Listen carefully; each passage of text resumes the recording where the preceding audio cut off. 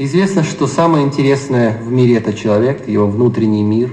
Именно эта мысль, видимо, продиктовала поэту Вадиму Сикорскому такие строки.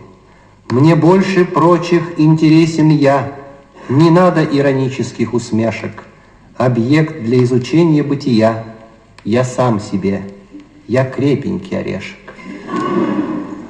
Пародия «Орех». Не смейтесь, не впадайте в этот грех. Ни кролик я, ни мышь, ни кот ангорский.